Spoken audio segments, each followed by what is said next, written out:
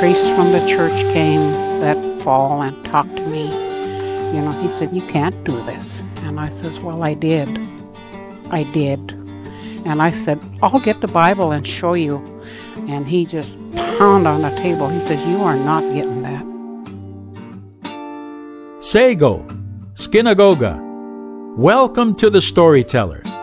From the deserts of the Southwest to the frozen tundra of the North, and all across this great land there are stories, true stories of First Nations people whose lives have been changed forever, who are following Jesus Christ without reservation. Join us as we hear more from the Storyteller. Then finally, one night as I walked in the church, they were singing a song that I really like, which is I Know Whom I Have Believed. And it, it was like it was there for me. And I listened to it. Wow, it was like somebody wrote it for me. It's a kind of song I would like to have written. And that night I couldn't leave the church. I just sat there when church was over. And uh, the Harlan and his wife, the missionaries, came up and they said, Did you want to talk? I said, Yes. And so he had his kids bring my kids into their house. And he says, Okay, Nida, what do you want? I said, I want to accept the Lord as my Savior. And he says, Okay. And, you know, he didn't act surprised or, wow, this is what we're waiting for. They were just, took it just like and I thought, gee, aren't they excited? And I thought, no, I don't want it that way. And I said, I just want to accept the Lord. And, you know, he took out the Bible and gave me verses to read. And, and he says, and, you know, pray and ask the Lord to save you. Ask him to forgive you your sins. And he said, he's going to forgive every sin in your life. All your past is going to be forgiven, and you'll be born again and I said, Yes, I want to pray, you know, hurry up, let's pray. and so uh, he says, uh, Avenel will pray. That's his wife. He said, And then you pray and ask Jesus to save you. And I said, Okay.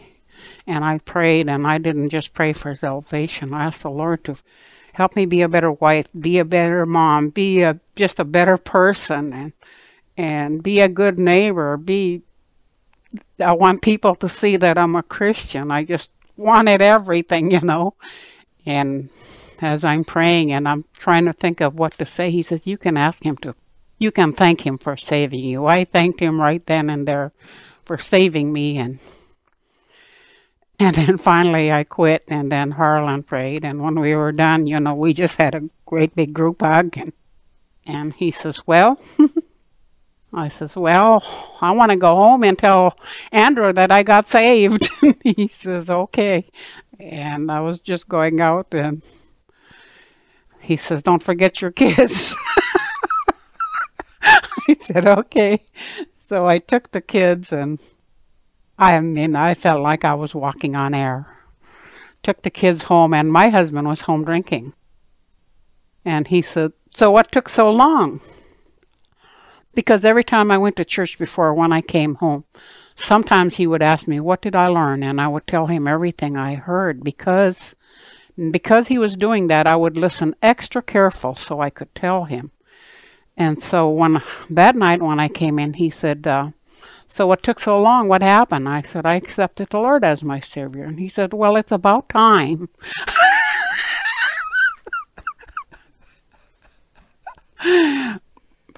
uh, not too much longer, he says, You're not a Christian. I says, I don't care what you say. I know I'm a Christian.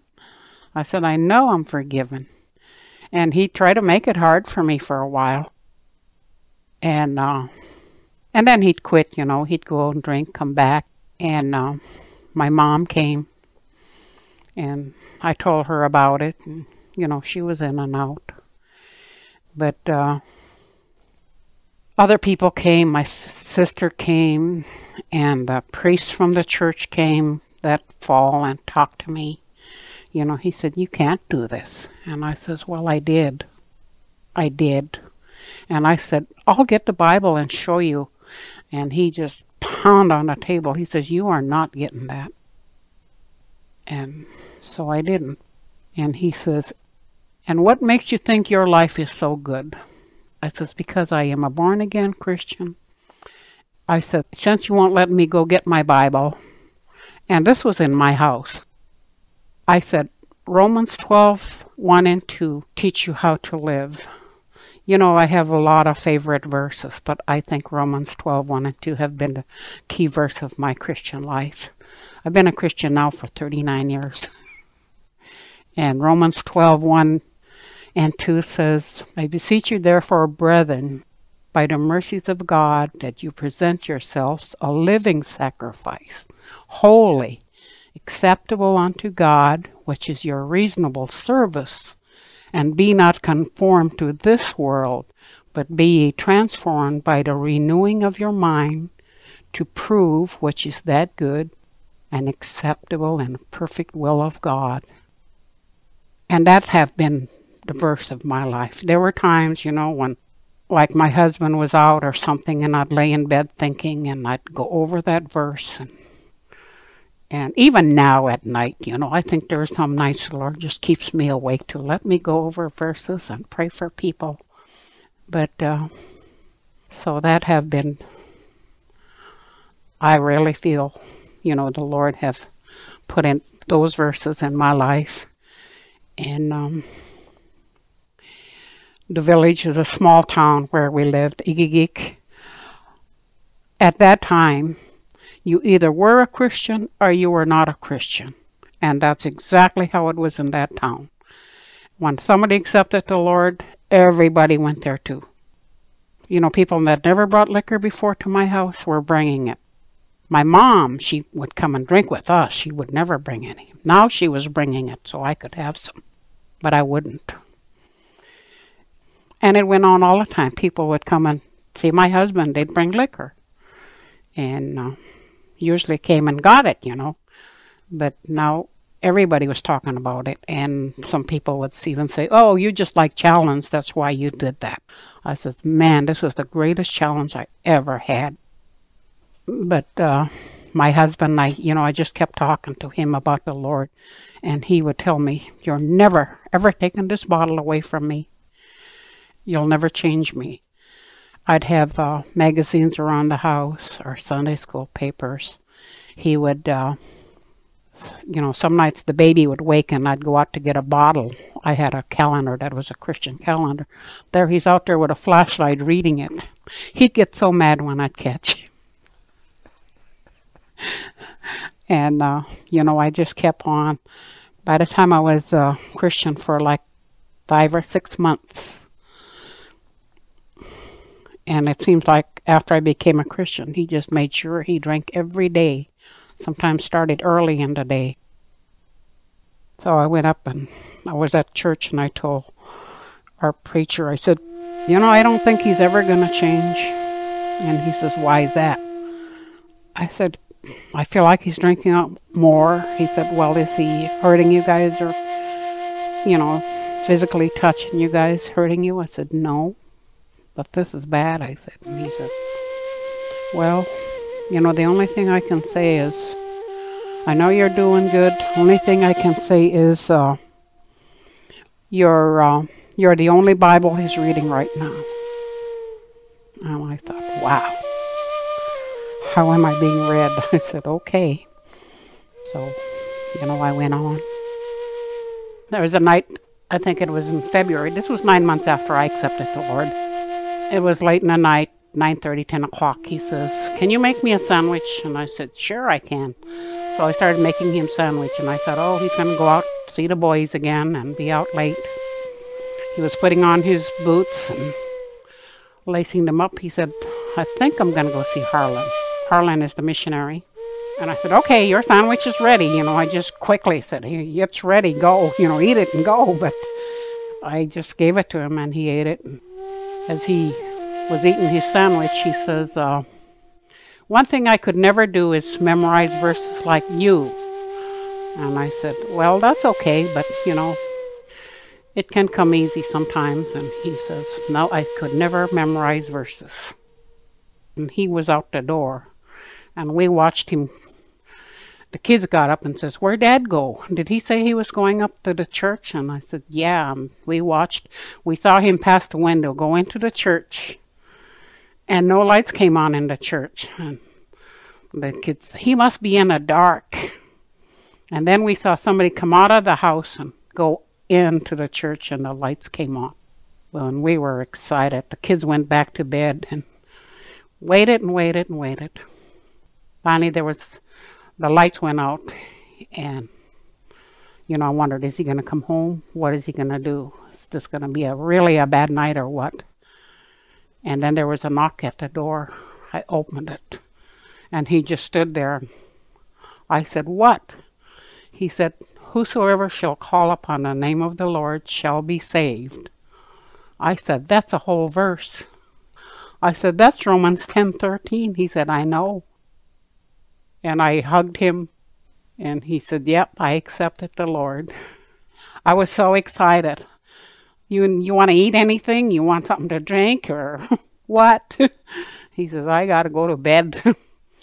I was so excited. I was up all night. I wanted to talk to him. You know, after all that struggle and restlessness he had, he just stretched out and slept like a baby. He just slept. I couldn't wake him up.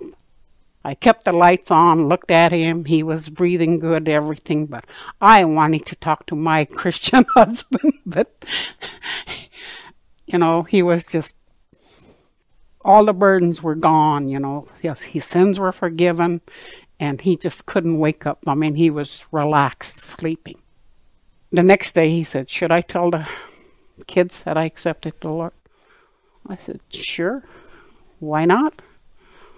And I said, They've been praying for you. And so when we were having dinner, we told. And uh, my little kids would convict him so many times, many, many times when we're sit down to have dinner, the littler ones, like the three and four year olds, they'd say, Wish dad was a Christian so he could pray. And he would say, Just be quiet and eat. or, uh, I wish dad could come to church with us so he can help you, mom. and the baby at the time was Joyce, and she'd just look at him when we're getting ready to go, and he'd say, don't let her look at me like that. I says, I'm not letting her look at you like that. But the night after, when he accepted the Lord, after we told the kids, and when we'd go to bed, he'd read and he'd cry. He says, Why didn't you tell me? I says, Didn't I? Well, I wasn't understanding it like this before. Now he was really understanding everything as he was reading. It was pretty neat, you know. God says in His Word, Call to me, and I will answer you, and I will show you great and wonderful things which you do not know. Have you called out to God? He desires to show you great and mighty things too. It begins by turning to Him and asking Him to forgive you. Put your trust in His Son Jesus as the one who saved you from the penalty of your sin. Then you will be forgiven, and the broken relationship with your Creator will be restored. Call on Him. He's waiting to hear from you now. If you have any questions or comments about what you've heard, we'd enjoy hearing from you. You can phone us toll free at 877 766 4648. That's 877 766 4648. You can also visit us on the internet at withoutreservation.com. There's more to this story, so we hope you'll join us again next time as we listen to The Storyteller.